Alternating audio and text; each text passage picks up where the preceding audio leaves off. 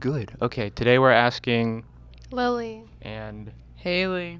who is your guys' favorite superhero? Um, mine's Iron Man or Spider Punk. So, okay, so a different spider sona. Mine is Wonder Woman. That I'm going to be honest, that makes sense. Oh. Is there a reason why you like Spider-Punk? I just think he's really cool, and I like how he doesn't like follow all the norms on stuff. Also, his costume's r- really cool. So It's cool. Uh, yeah, I love Spider-Punk. Is there a reason why you like Wonder Woman? Um, when I was really little, I watched a Wonder Woman movie and I was awestruck and I just love Wonder Woman. That's awesome. I love Spider-Man, as, as people can tell by this. Yeah. Okay, cut the cameras. Cut. Today, today we're asking people who their favorite superhero is. Brecken, who's your favorite superhero? Um, probably like Blue Beetle. Is there a reason? Uh, not really. He's just like